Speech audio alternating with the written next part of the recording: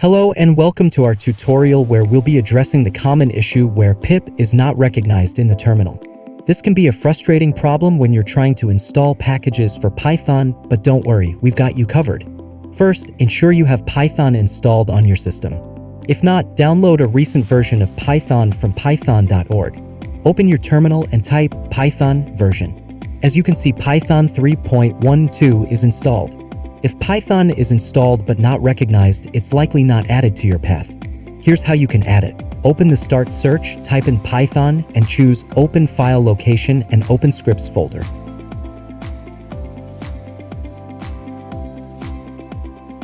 Then copy its path.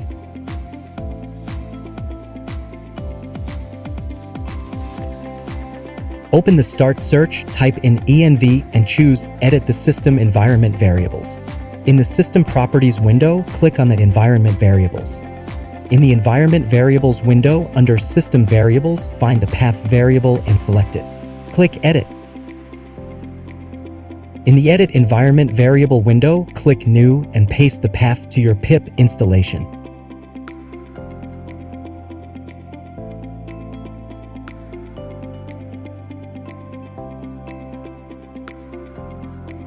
To verify that pip is now recognized, reopen your terminal and type pip version in my case I will install a package. That's it. You've successfully fixed the pip not recognized issue in your terminal.